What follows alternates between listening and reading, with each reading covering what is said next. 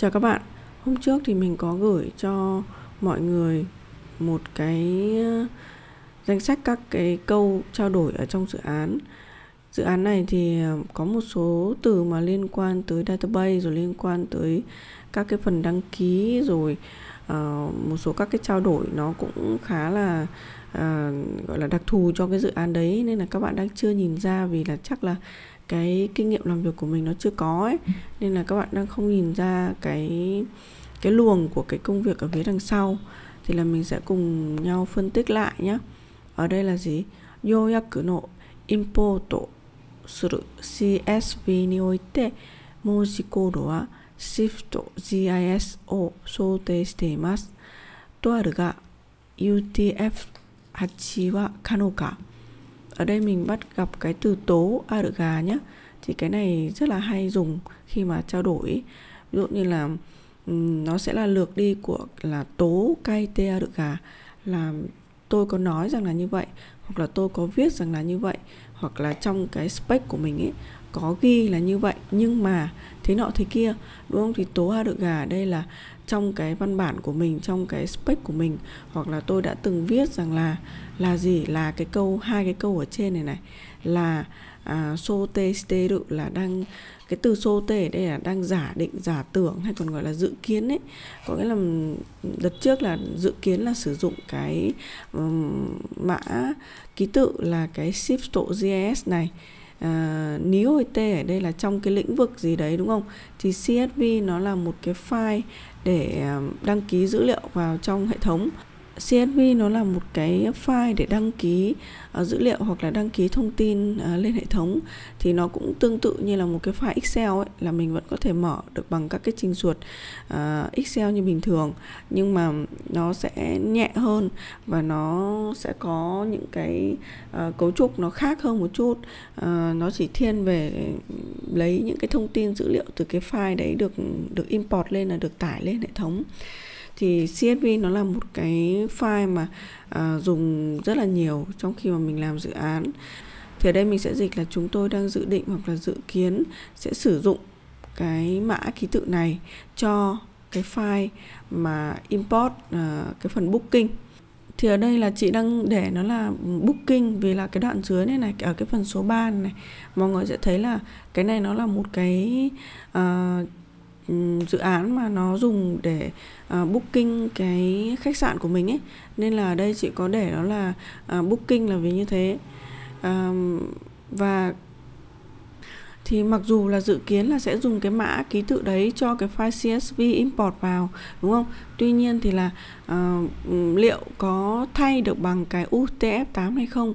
Thì cái UTF-8 và cái Shift.js nó là một cái mã uh, ký tự và cái phần dịch của mình thì nó nằm ở phía bên tay phải đây các bạn có thể uh, tham khảo thêm. Uh, khi mà các cái phần katakana ở trong uh, phần giao khi mà cái phần katakana ở trong cái câu trao đổi thì các bạn nhớ là để là um, dạng uh, tiếng Anh nhé câu số 2 này. Jiu fuku yoyaku no cheku zoke no osete kudasai là câu này cũng dễ rồi. Cái zoke này đây là cái điều kiện check đúng không? Có là nó sẽ có các cái điều kiện để kiểm tra để check xem là cái order của mình ấy, cái booking của mình ấy nó có bị lặp hay không đúng không? Thì là hãy cho tôi biết về cái điều kiện check booking bị lặp. Tiếp đến câu số 3 này.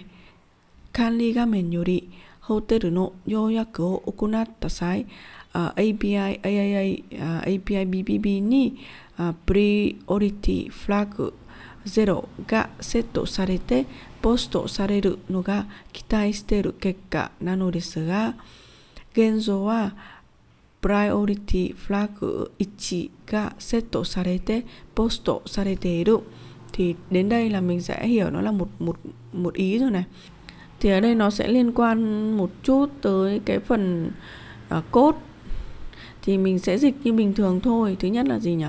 Uh, sai đây là khi mà đúng không? Cái từ okuna ở đây là khi mà tiến hành booking uh, hotel ờ, yori ở đây là từ cái màn hình quản lý đấy. Thì là uh, cái cái kết quả mà chúng tôi đang kỳ vọng là cái nọ cái kia đúng không? Nô gá ở đây nó chính là cái kết quả mà đang kỳ vọng này là cái thứ hay là cái kết quả mà chúng tôi đang kỳ vọng. Đó là gì? Đó là cái cái câu này. Cái câu này nó là gì? Flag ở đây nó là một cái cờ ở trong API thì trong code của mình ấy nó sẽ có những cái hạng mục các cái item uh, mà mình sẽ uh, để là cái cờ của mình nó là on hay là off hay là không hay là một ấy thì ở đây nó là dựng cái cờ ở trong cái API đấy là trong trường hợp mà uh, đặt um, trước booking cái khách sạn từ cái màn hình quản lý thì mình sẽ để cái item đấy ở trong cái code của mình cái flag gửi là cái cờ uh, ở trong cái API của mình nó là được set là không và post lên.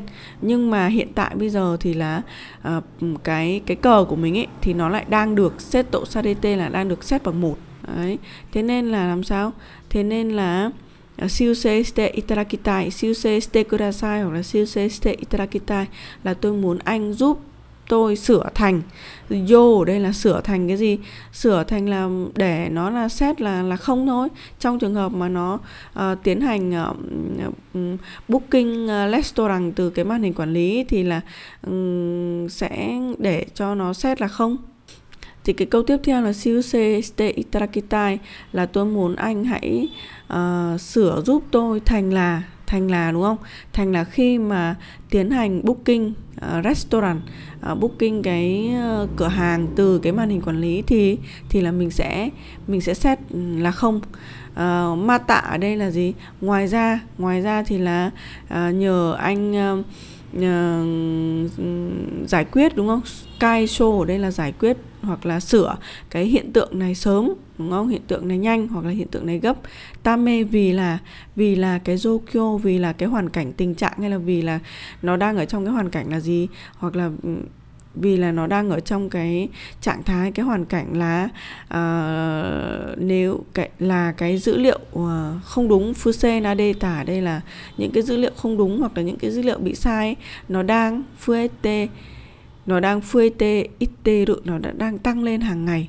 Đúng không? Có nghĩa là nếu như mà uh, mình không sửa sớm ấy thì cái dữ liệu nó được ừ, set sai là không với một đấy thì là nó cứ nó cứ tăng dần tăng dần lên thì nó sẽ không không được tốt lắm đúng không? Không kên ở đây là liên quan tới cái vấn đề này. Thì nhờ anh sửa nhanh giúp tôi cái hiện tượng này. Bởi vì rằng là nếu như mà um, không sửa nhanh ấy thì cái dữ liệu uh, không chính xác nó sẽ được tăng lên từng ngày một